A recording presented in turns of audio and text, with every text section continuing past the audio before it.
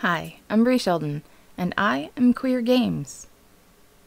I'm making this video because June is Pride Month, which is when we recognize the adversity that queer people face and overcome, marked especially by remembering the Stonewall riots.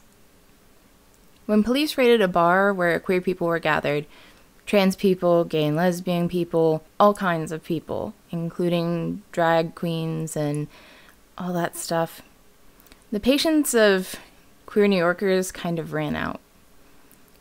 The police were being invasive and violating people's rights. Marsha P. Johnson, who is a black trans sex worker, is credited with initiating the riot as a response to the police aggression.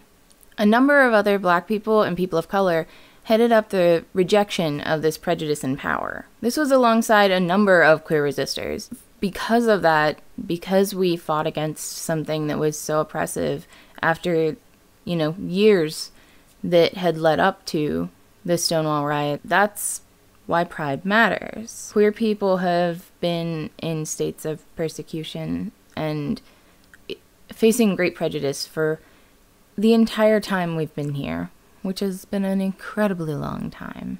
The thing is, with police power and government power and the oppression that we face and microaggressions that we face every day, queer people are important.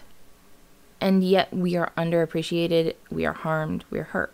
In the gaming community, there's especially a large amount of homophobia and queerphobia, transphobia, abuse of people who are simply just trying to be themselves and live. And we use games to express ourselves, right? That's that's part of the thing with games, especially when you design them, but also when you play them. You have so much freedom to say how the world works for queer people. Instead of just looking at what we have now. The reality is that Queerness inside and outside of games is important to me, and it's important and valuable to the world.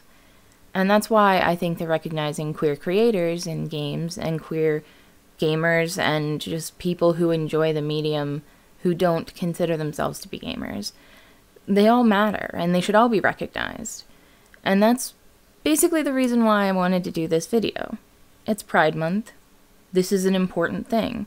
We should recognize people and it also gives me an opportunity to explain who I am in regards to my queerness. Considering I am a gamer and have been for a really long time, I think that it was something important to me to latch on to and say, this is something we need to talk about. This isn't so much to start a dialogue as it is to start a wave of people talking about themselves and about what they care about and what games mean to them, and allow people to see the diversity of games.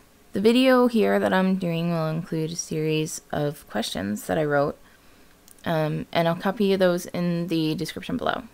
If you're a queer gamer, a queer person who plays games, a queer designer, please consider answering them in your favorite format, whether that's a video or a blog post or social media.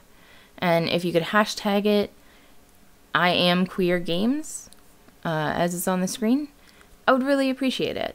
I'd love to hear your stories and feel free to respond to this and link them um, or tag me on social media. I am at BrieCS, that's B R I E C S, at um, Twitter and Mastodon under Dice Camp, that's dice.camp. Brie Sheldon on Google Plus, and you can find me in a whole bunch of places basically.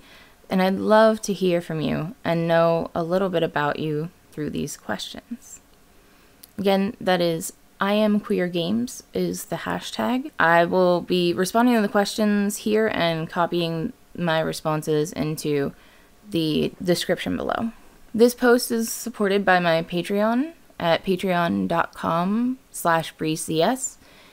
I'm doing this because it's part of my community work and also because it's a big part of my recognition and outreach towards diverse creators. Thank you so much for watching.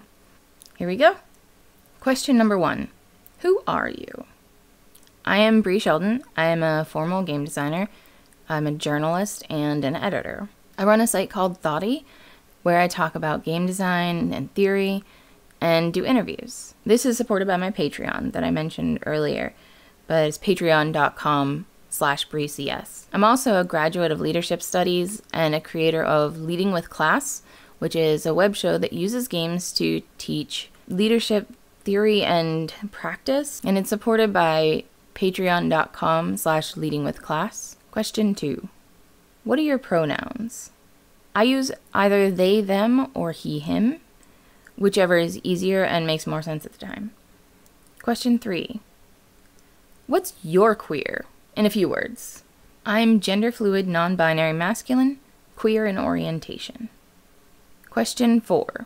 What are your intersections and chosen labels? On the marginalized side, I'm disabled and have some mental health stuff. For privileges, I'm white, well educated, and married to a cisgender man with a decent paying job, and I live in a nice neighborhood. On the fun end, I'm polyamorous, a gamer, and an artist. Question 5. What's your gender, or lack thereof, and what does it mean to you? I describe my gender as gender fluid, non binary masculine because my gender identity, the inside part of me, fluctuates between non binary androgynous and non binary masculine, where I'm never really a man at any point, but I do have some masculinity to myself. I call myself a boy a lot because the soft masculinity that I associate with boyness is basically where I am a lot of the time. My gender is really important to me, I struggled with it for around 24 years before coming out on a small scale, and 26 before I told my family. It's who I am, and I love to live with it freely. Question number six What's your orientation, and what does it mean to you? I'm queer, and I call myself queer because it makes the most sense to me. Being a fluid person and being non cisgender, I fluctuate a lot on how I define my relationships, but basically, I'm attracted to people of pretty much every gender. My attraction is different with different people. Sometimes romantic, sometimes sexual, sometimes both, and I also have a lot of platonic attraction. It's all important to me. I feel a lot of feelings, and they find homes in many different places. Question number seven How do you present yourself? And how do you want to present yourself, including clothes, makeup, body mods, and anything else. My ideal presentation is moving between soft masculine and edgy androgyny, but both with boobs. I like my boobs, and I hate that having them decreases my masculinity and my androgyny. I wish that I could have those things and still have boobs. And still wear makeup. I like wearing masculine or unisex clothes, like I could live in jeans, ball caps, and a t shirt, but I super dig getting to wear those alongside like a low cut top and stuff like that. It suits me. I'm not planning on getting any further body mods than my piercings and tattoos, except more tattoos. Gender affirmation and hormones aren't what will make me whole. From what I know. Question 8. What's this got to do with games? Gender, queerness, pride? Games have a good dose of queerness, just in them already when you realize how easily you can put on another gender and orientation and have the identity you perform for a session, event, or campaign. If you think you've never touched queerness, think of how many times you've played a character of a different gender or who is attracted to a gender you aren't. That doesn't make you queer, but it shows how you can connect those things. Gender and orientation are so tied to our experiences at the table because they're tied to our real lives. Mechanics and settings in games can encourage queerness, and safe environments encourage engagement with identity questions. When we're playing a game, it's a safety buffer. It's a way to explore with training wheels, and when the wheels come off, we can tell stories we want to be told, since good media for us is so hard to find. We must tell our own stories. Eh, we can make them rich and interactive for queer and not queer people alike it's an amazing medium to dig into both queer reality and queer fantasy. And it gives us a unique power to frame the mechanics of the worlds we play in when we design queer games how we handle violence, how we handle sex, how we handle stigma. The control it gives us to realize queerness is really important. Question 9 When do you remember being queer in game the earliest? What does it tell you about games and queerness? Honestly, it started back whenever I was playing Harry Potter text based roleplay when I was in my early teens. I started playing androgynous characters, very clumsily, and exploring who my characters could be attracted to. In my mid-teens, I played some androgynous characters in D&Ds and flirted with the idea of queer characters like lesbians and gay men, and even pansexuality at one point. But it was not well executed.